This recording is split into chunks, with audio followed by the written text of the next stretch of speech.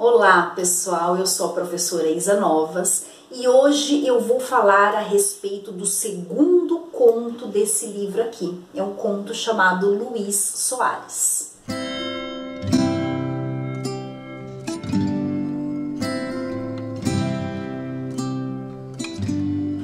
Bem, esse livro aqui, gente, ele está no meu desafio das leituras de 2021. Sempre que eu fizer alguma postagem lá no Instagram, aliás, meu Instagram é Isa Novas, arroba Isa Novas Rodrigues. Sempre que eu fizer alguma postagem lá no Instagram a respeito dos livros que estão lá no desafio, eu vou usar a hashtag 12 livros para 2021. Vocês podem também fazer a postagem usando essa hashtag para a gente poder se encontrar, né? Poder conversar e eu poder encontrá-los. Bem, vamos lá então falar a respeito do Luiz Soares. Vou iniciar contando para vocês quem é esse Luiz Soares. Bem, o Luiz Soares, gente, era um homem muito, muito rico. Mas ele não era rico por conta do trabalho dele, tá? Ele era rico porque ele tinha herdado uma grande fortuna do pai. Ele gostava de viver a vida, sabe? Vida de solteiro, uma vida assim, bem livre, Aliás, gente, conta lá no, no, no, início já do conto, né, quando o Machado de Assis vai apresentar essa personagem pra gente, é, já mostra que o Luiz Soares, ele trocava o dia pela noite, e é muito genial. Aliás, o Machado de Assis é genial, eu não canso de falar, né? Por que que Luiz Soares trocava o dia pela noite, né? Porque nós vivemos num país quente, num país tropical, e ele diz assim, por que então que a gente não fica acordado durante a noite, que tá fresquinho, e dorme durante o dia? Pensando bem, até que faz sentido, né? Mas enfim, então Luiz Soares fazia isso, ele trocava o dia pela noite, ele tinha muitos amigos, né? Ele gastava muito dinheiro, mas assim, muito, muito dinheiro, com festas, com mulheres, com jantares. Ele, para ele não tinha miséria. Só que ele não sabia quanto que tinha na conta, ele não acompanhava. Ele era completamente desligado para esse tipo de coisa. Ele achava que a fortuna dele nunca acabaria. Só que um dia acabou, né? E ele ficou pobre, recebeu uma conta do, do banco, né? Uma, uma carta do gerente do banco dizendo que tinha, o dinheiro dele tinha acabado. Bem, o que aconteceu? Ele ficou desesperado, porque para ele só existiria vida, né, se ele então fosse rico. Como assim pobre? Como que ele, tão rico, poderia voltar a ter vida de pobre? Ele não conseguiria viver dessa forma. Era o que ele dizia. Então ele, desesperado, chamou um dos amigos, o José Pires, e contou para o José Pires tudo o que tinha acontecido. Esse amigo então fez algumas sugestões e uma das sugestões foi o seguinte: José, é, o José Pires disse né, para o Luiz Soares: Olha, você tem um tio que é muito rico, certo? Esse tio queria que você fosse um homem bom, que arrumasse um emprego, e você nunca quis. Então, a minha ideia é o seguinte: vá procurar esse seu tio, aceita o emprego que ele quer te fornecer, e esse tio ele já tá meio adoentado, já tá velho. Quando ele morrer, você vai herdar a herança dele, vai ficar rico de novo. Olha que maravilha, certo? O Luiz Soares adorou a ideia e foi procurar o tio. Esse tio é tio Major Luiz da Cunha Vilela, um homem também muito rico, tá? Já mais velho, que morava com a sobrinha a Adelaide e a prima a Dona Antônia. Então eles moravam assim um pouco afastados da cidade né? E o Luiz Soares então foi visitar o tio, né? Chegando lá, ele pediu desculpas para o tio, falou que tinha mudado, tudo mentira, né, gente? Tudo interesse. Falou que tinha mudado, que ele queria arrumar um emprego, que agora ele era um homem trabalhador. O tio ficou encantado com aquele novo Luiz Soares e foi lá, arrumou um emprego para o sobrinho, né? Só que o Luiz Soares ele passou então a viver essa vida de trabalhador e ele ficava muito entediado, ele não gostava não, tá? Bem, durante a história a gente fica sabendo um pouquinho sobre Adelaide. Adelaide é aquela sobrinha que morava junto com o tio, o major, tá? É, Adelaide e o Luiz Soares, há tempos atrás, eles tinham já tido um romance. Só que era aquele romance de mão única, né? A Adelaide gostava do Luiz Soares, mas o Luiz Soares não queria saber da Adelaide, só a Adelaide gostava, tá? É, então esse romance tinha acabado e a Adelaide tinha ficado muito frustrada, né? E muito triste, porque ela amava o Luiz Soares até hoje. Bem, com essa aproximação do Luiz Soares, o tio Major, ele sabendo que Adelaide gostava do Luiz Soares, o que, que ele fez? Ele propôs um casamento. O Luiz Soares não queria casar, ele queria só herdar a herança né, do tio quando o tio morresse e queria voltar a viver aquela vida de solteiro. Ele não queria casar, não queria ficar amarrado. Então, o que, que aconteceu? Ele continuou desprezando a Adelaide e falou pro tio assim, para enganar o tio: Ó, oh, me dá um tempo, me dá um tempo, agora não é momento de decidir isso, depois eu decido. Só para ganhar um tempo com o tio, né? E a Adelaide percebia, ela ficou sabendo dessa proposta e ela percebia o desprezo do Luiz Soares. Então ela tinha a convicção de que o Luiz Soares não gostava dela.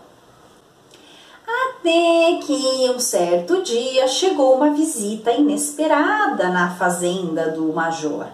E essa visita era o Anselmo. Quem era o Anselmo? Anselmo foi um amigo muito próximo do pai falecido da Adelaide.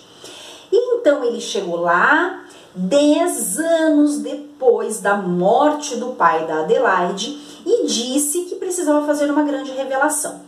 Ele estava ali para ler uma carta na presença da Adelaide e de todos os familiares, certo?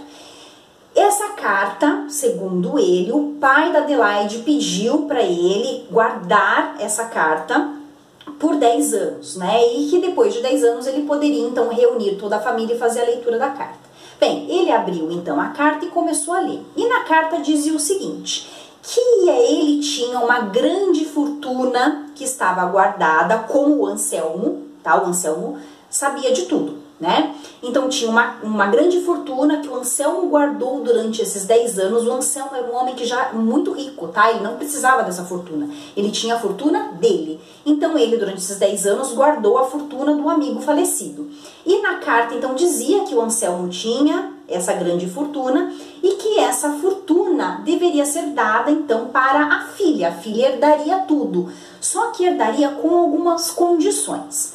Bem, se a filha já fosse casada, então a filha herdaria tudo e ponto final.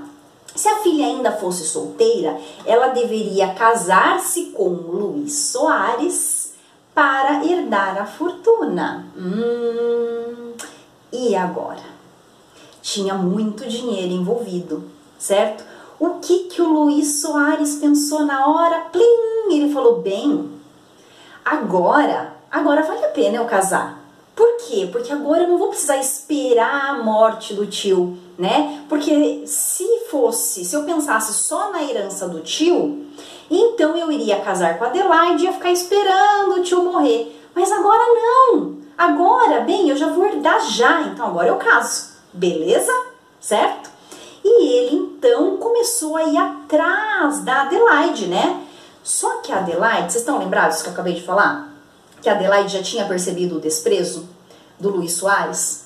A Adelaide já tinha percebido que ele continuava desprezando e não gostando dela, ele não a amava.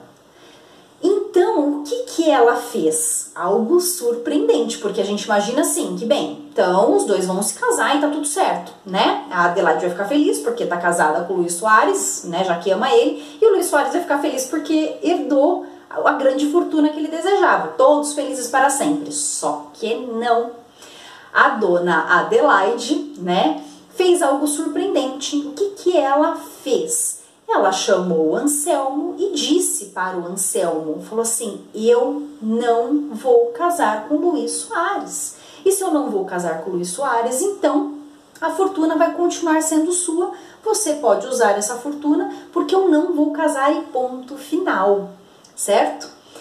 Bem, o Anselmo, ele já era rico, falei, né, para vocês, o Anselmo já era muito rico, ele não precisava dessa fortuna. Então o que ele fez? Independente da carta do pai, do desejo do pai, o que que ele fez? Ele falou para Adelaide o seguinte: Adelaide, eu não vou ficar com esse dinheiro, tá? Esse dinheiro pertence à sua herança ela, esse dinheiro já é seu, eu não vou ficar, eu guardei por esses 10 anos, mas eu não preciso desse dinheiro e de qualquer forma eu vou dar esse dinheiro para você. Então vamos fazer o seguinte, já que você não quer casar com o Luiz Soares, porque você acha que o Luiz Soares é um interesseiro, então vamos fazer uma grande viagem, vamos gastar uma parte desse dinheiro viajando, vamos para Europa. Né? planejaram uma viagem. Adelaide, Anselmo, o tio Major e a prima, a dona Antônia, certo? Os quatro começaram a planejar a viagem e o Luiz Soares ficou fora da viagem.